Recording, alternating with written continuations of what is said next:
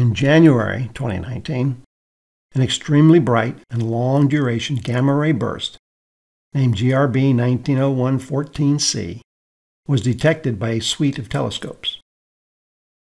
This Hubble image, taken a few weeks later, caught the fading afterglow of the event in the center of the green circle.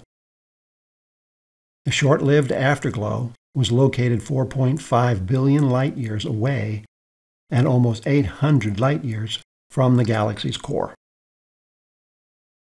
This gamma ray burst was one of the most powerful ever recorded.